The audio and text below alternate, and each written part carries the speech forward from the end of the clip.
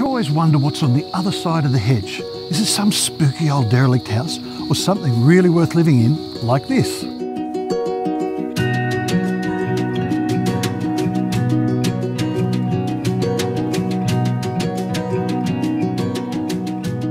Welcome. In renovating this spacious three bedroom home, there has been meticulous attention to detail, although they left this pretty much as it always has been.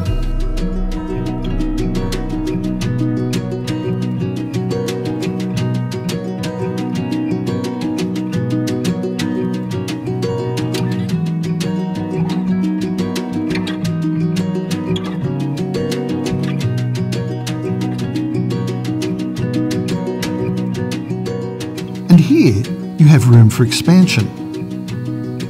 There's a petrol station on the corner if you run out of milk or chocolate. And it's a flat 10 to 15 minute walk to town.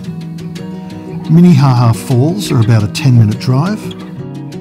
Narrow Neck Lookout about 5 minutes. And across the road there's a park for you and the kids to muck around in. 29 Albion Street is definitely one to think about.